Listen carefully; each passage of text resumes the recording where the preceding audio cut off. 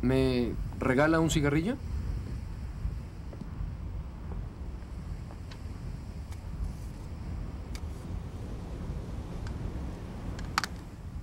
Deberías atarlas.